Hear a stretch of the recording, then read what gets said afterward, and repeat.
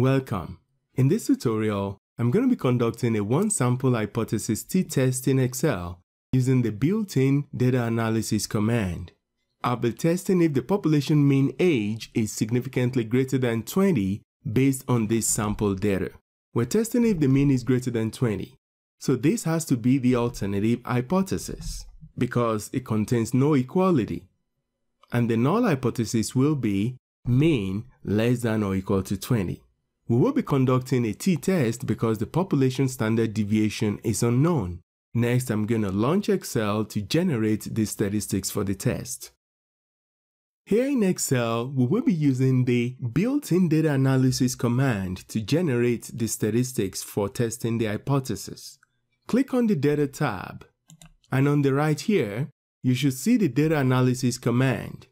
If it's not there, please see description on how to load it. Now, there is no listed function in data analysis for one sample t-tests, but we're going to trick or full Excel to do it. First, we create a dummy second variable here and input at least two zeros in it. Next, click Data, Data Analysis, and scroll down to the second to the last option here t-test two sample assuming unequal variances. Click OK. For variable 1 range, select the actual data. And for variable 2 range, select the dummy data. For the hypothesized mean difference, input 20, the test value from the hypothesis. I'm going to check labels here because I selected the labels. For significance level alpha, I'm going to leave it at 0.05.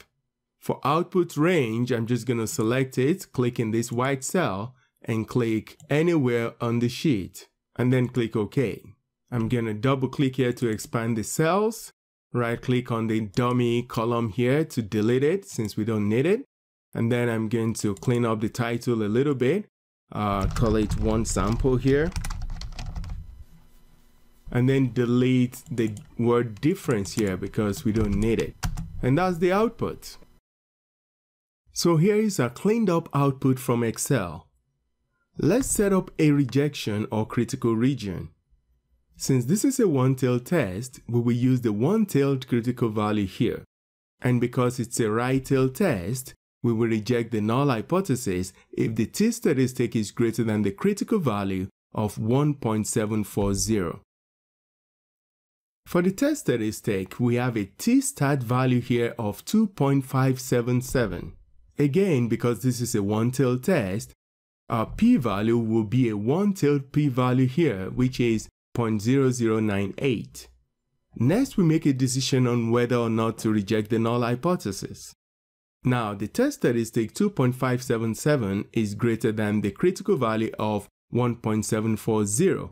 As a result, we will reject the null hypothesis. We can also use the p-value to arrive at the same decision.